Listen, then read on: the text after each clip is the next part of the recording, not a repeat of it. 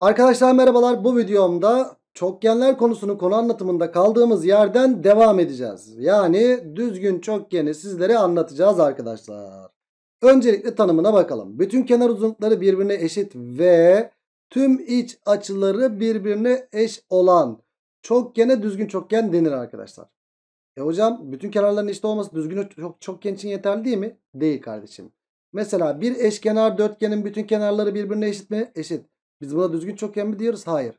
Mesela kare. Bütün kenar uzunlukları eşit ve bütün açıları da birbirine eşit. 90'ar derece. İşte bir kare düzgün çokgendir arkadaşlar. Ama eşkenar dörtgen düzgün çokgen değildir. Yani bütün açıların da eşit olması lazım. Mesela eşit boydaki iki kalemle. Şöyle iki kalem olsun elimde. Şu iki kalemle ee, bir sürü koyarak ucuca koyarak bir düzgün çokgen elde edebilirim. Ama tek şartım ne? Şuradaki açısının aynı olması lazım. Buradaki açısı neyse o zaman kalem sayısı yani kenar sayısı ona göre belirtecektir arkadaşlar. Yani e, açısı şimdiden daha öğretmedik ama mesela 120 derece ise hep 120 derecelik koyduğum zaman bunu 6 tane kalemle tam en son kalem burada çakışır. E, düzgün altıgen elde edebiliriz arkadaşlar. Mesela 90'ar derece olduğu zaman kaç tane? 4 tane kalemle onu yapıyoruz arkadaşlar. Haberiniz olsun. Yani açının da eşit olması gerekiyor. Bunu unutma. Evet. Şimdi burada e, düz içi bütün iç açıları birbirine eşitse mesela beta beta beta beta dersem bütün dış açıları da birbirine eşit olmaz mı? Olur. Peki burada formüllerden bahsedecek olursak mesela iç açıların ölçüleri toplamı nedir diye soracak olursak hocam şuraya baktığımız zaman betadan kaç tane var? En kenarlı bir çokgense betadan kaç tane var arkadaşlar? En tane var. He, n tane betanın toplamı iç açıları ölçüleri toplamına eşittir değil mi? Yani o da n-2 çarpı 180 dereceye eşittir. O zaman burada bir tane iç açısı neye eşit oldu? n-2 çarpı 180 bölü n'e eşit oldu arkadaşlar. Bak kendiliğinden bulduk. Şurada da yazmışız arkadaşlar. Bir tane beta yani bir düzgün çokgenin iç açısı nasıl bulunuyormuş? n-2 çarpı 180 bölü n ile bulunuyormuş. Ama biz ne yapıyorduk? Açılarda genelde dış açıdan gitmek daha mantıklı. Niye? Dış açılar toplamı 360. Hocam dış açılara baktığımız zaman da hep dış açısı alfa. E, en kenarlı bir çokgense en köşe vardır. En tane de alfa vardır. Yani en tane alfanın toplamı n çarpı alfa. Dış açıları ölçüleri toplamına eşittir 360'a. Buradan da bir tane dış açı neye eşittir? 360 bölü n'e eşittir. İşte bak burası önemli. 360 bölü n'e eşittir bir dış açısı. O yüzden bak bu daha sade. Dış açıyı daha rahat bir şekilde bulabiliriz. E ben buradan o zaman şunu söyleyebilirim arkadaşım. Bir dış açısı 360 bölü n ise ya da tam tersi n çarpı alfa 360 dedik ya. n de 360 bölü şey de diyebiliriz. 360 bölü alfa da kenar sayısına da eşit oluyor da diyebiliriz arkadaşlar. Ama biz şu anda dış açıya yoğunlaşalım. Dış açımız neymiş? 360 bölü kenar sayısından bulunuyormuş. E o zaman ben burada bir iç açısını falan bulacaksam şu formül biraz karışık zaten. O yüzden bilecekseniz sadece ve sadece şunu bilin. 360 bölü n bize dış açıyı veriyor. E, iç açıyı bulurken nasıl bulacağız hocam? İç açıda arkadaşlar şöyle söyleyebilirsiniz. İç açıyla dış açının toplamı 180 değil mi? Evet. O zaman 180 eksi dış açı bana neyi verecektir arkadaşlar?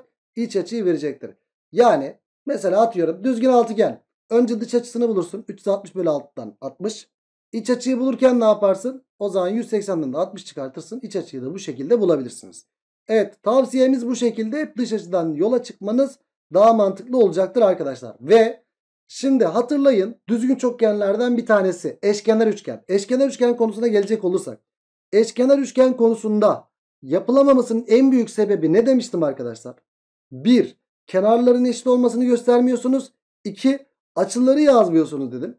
E düzgün çokgende de aynı mantık arkadaşlar. Düzgün çokgende de bir açıları şey kenarların eşitlerini mutlaka mutlaka göstereceksiniz.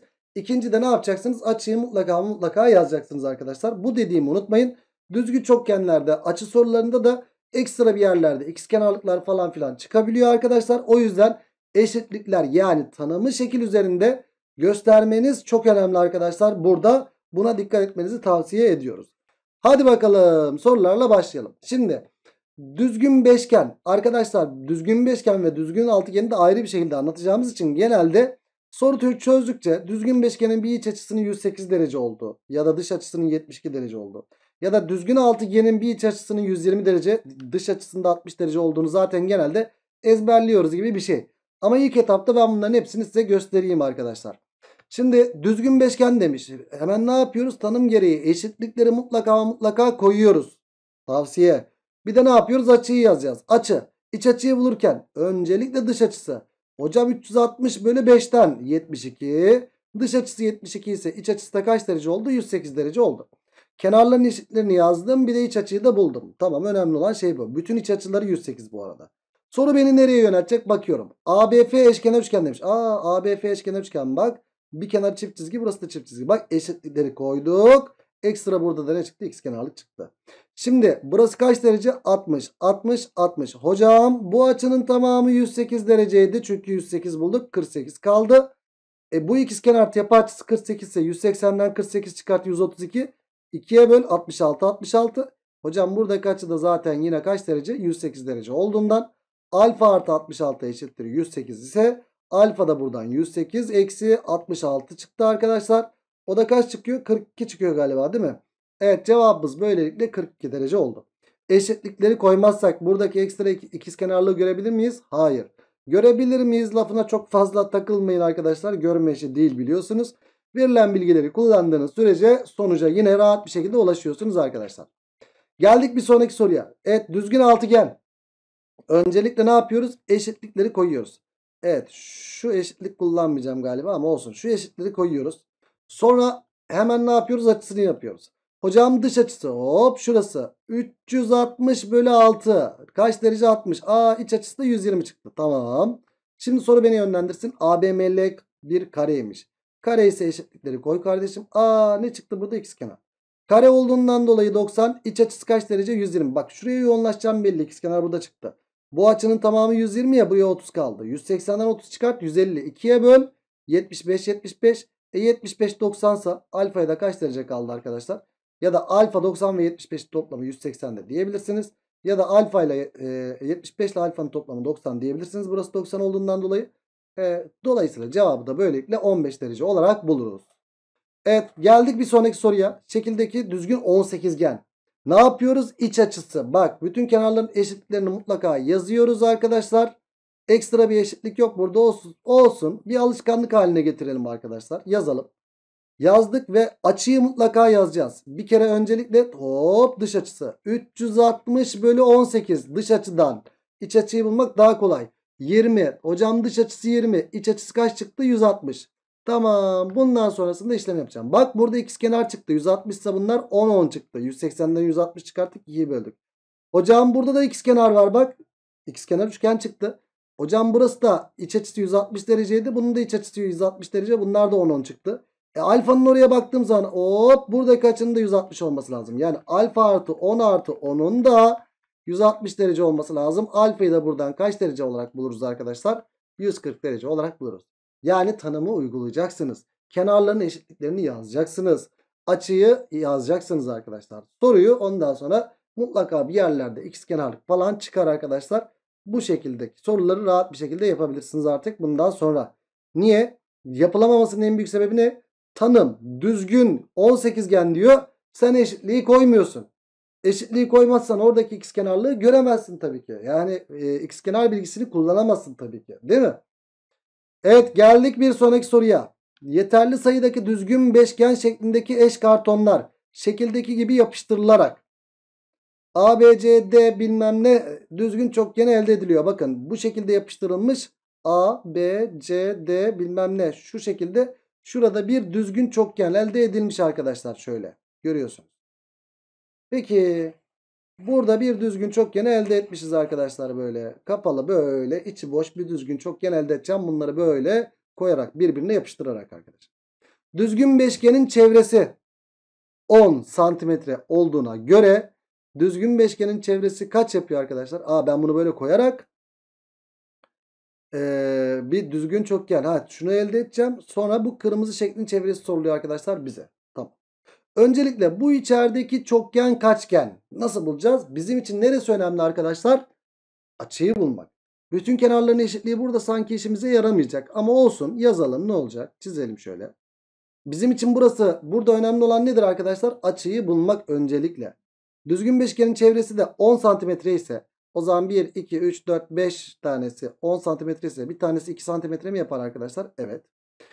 Bir kenarın uzunluğunu düzgün beşgenin bir kenar uzunluğunu 2 bulduk. Şimdi ben şu boyalı boyadığım düzgün çokgenin kaç kenarlı olduğunu bulmam için neresi lazım? Açısı lazım. İç açısı ya da en önemlisi neresi? Dış açısı lazım. Hocam dış açısı neresi? Dış açısı 180'e tamamlayan açısı. İşte tam olarak buradaki açısı değil mi arkadaşlar? Evet. Hocam bu düzgün beşgenin iç açısı kaç derece?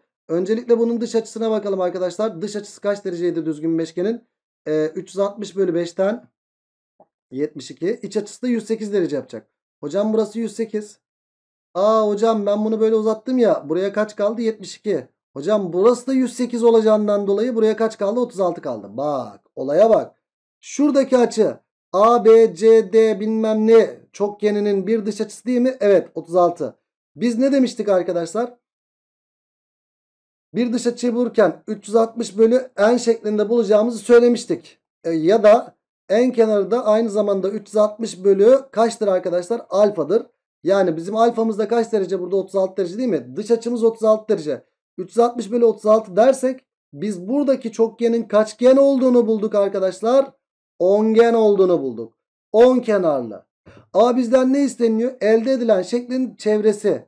Dış çevre, çevresi. Bu şekilde kartonları koydum ya dış çevresi iç çevresi şu şekilde dış çevresi de şu kırmızıyla gösterilen kısım soruluyor arkadaşlar bize. Bu kırmızıyla gösterilen kısımda ne var?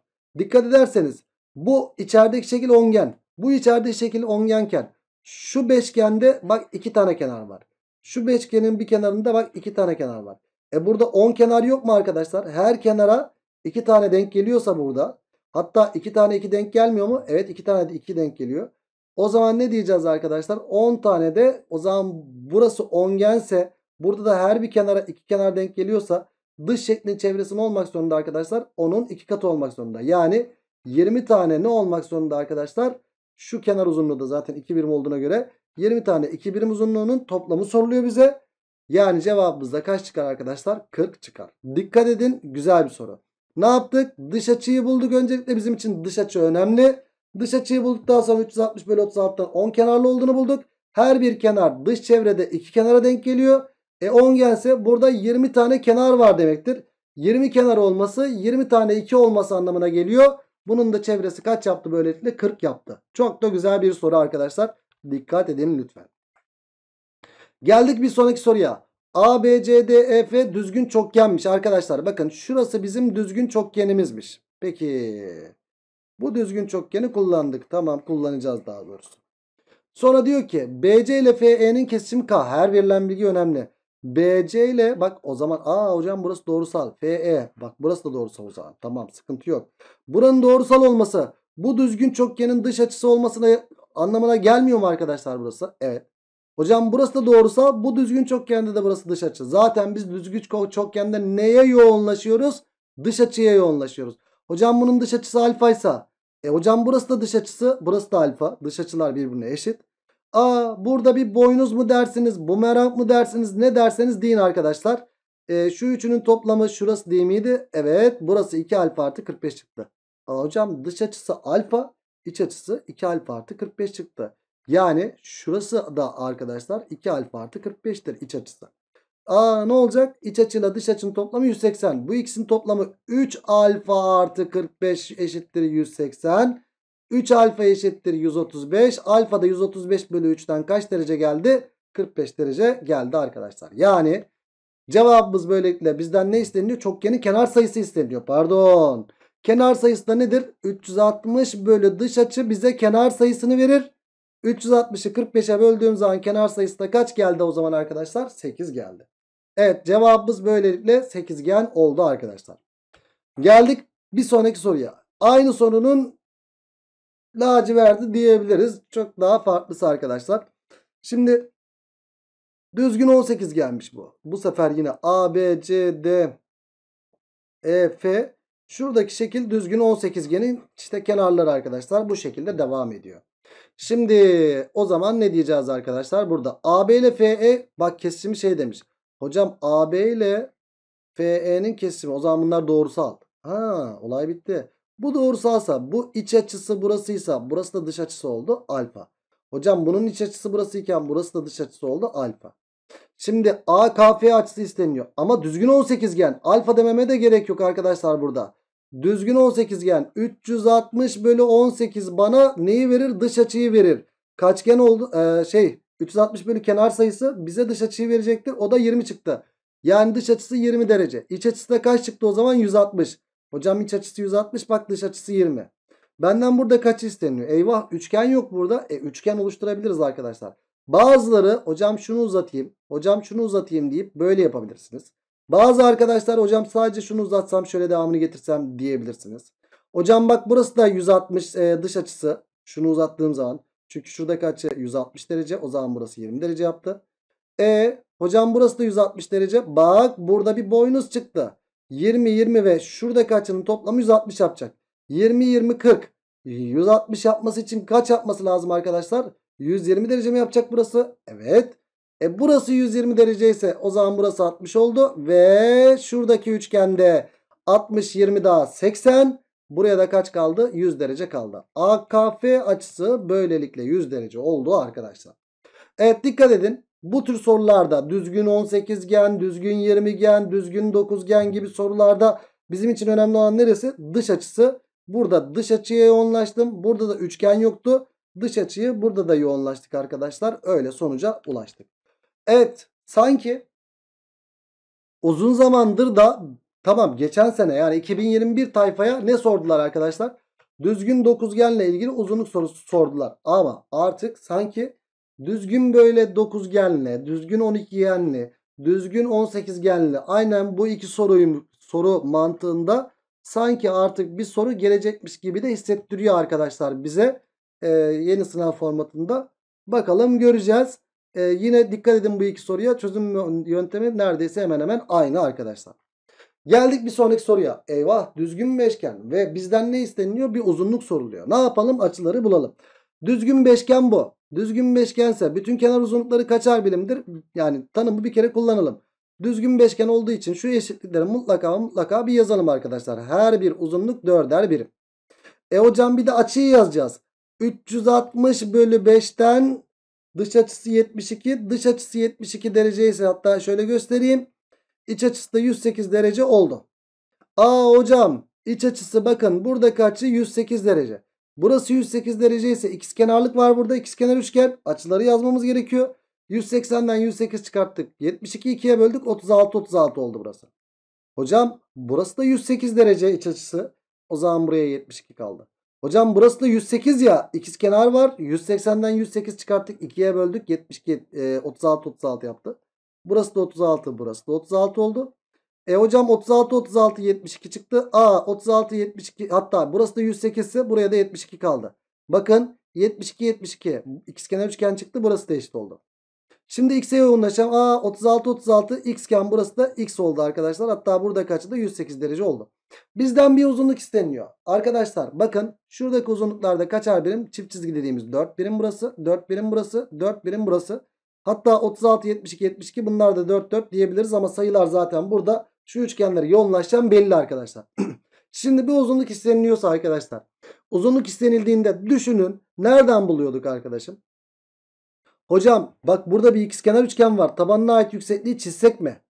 Vallahi arkadaşlar tabanına ait yüksekliği çizebiliriz ama taban uzunluğu yok ya. Yani bizi sıkıntıya sokabilir. Başka bir yol düşünmek lazım. Şimdi bir uzunluk istenildiğinde nereden buluyorduk? Ya dik üçgenden. Tamam dik çizdiğimizde x kenar tabana ait yükseklik Pisagor'dan belki çıkabilir ama uzun bir yol olduğu belli. Deneyebilirsiniz arkadaşlar. Çünkü x artı 4 bölü 2 ile uğraşacağım. Benim için sıkıntı. Başka nereden bulabiliriz? Üçgeni düşünün arkadaşlar. Üçgende bir uzunluk sorulduğunda ya dik üçgen aklımıza gelir ya da ne gelir? Benzerlik. Benzerlik var mı diye bakalım. E hocam burada zaten x, x 4 üçgeni var. Bir de 4, 4 x üçgeni var. Bir de şu üçgenlere dikkat edebiliriz arkadaşlar. Kenarlar var. E bu üçgenlerde de hep açılar da var. Aa hocam bak şuradaki üçgende 36, 72, 72. Başka var mı 36, 72, 72? Maalesef yok. Ama burada 36 36 108 açılara dikkat edelim. Arkadaşım bak şu üçgende 36 72 72. 36 36 108 pardon. E aynısı Şu büyük üçgende de yok mu? 36 36 108 arkadaşlar var. Yani bu sarı üçgenle şu büyük üçgen ne oldu? Açı açı açıdan benzer oldu arkadaşlar. Tamam zor bir soru ama bu tür soruların da özellikle böyle düzgün beşgende arkadaşlar şey falan vardır. Araştırın isterseniz ben burada bahsetmeyeyim. Altın oran dediğimiz şey vardır arkadaşlar. İsterseniz bir araştırın altı, altın oranında. Ee, oradaki sayılarla ilgili böyle altın oran sayısıyla ilgili bir işlem geliyor arkadaşlar. Ama e, siz onu araştırırsınız. Ben şu anda şuradan yapayım arkadaşlar. Şu üçgenle büyük üçgen açı açı açıdan benzer oldu arkadaşlar. O zaman bu üçgende 36'nın karşısı x'in. Öbür üçgende büyük üçgende 36'nın karşısı 4'e oranı eşittir. Bu üçgende 108'in karşısı 4'ün. Öbür üçgende 108'in karşısı x artı 4'e oranı. Buradan ne geldi arkadaşlar? İşler dışlar yapalım. x kare artı 4x eşittir 16 geldi.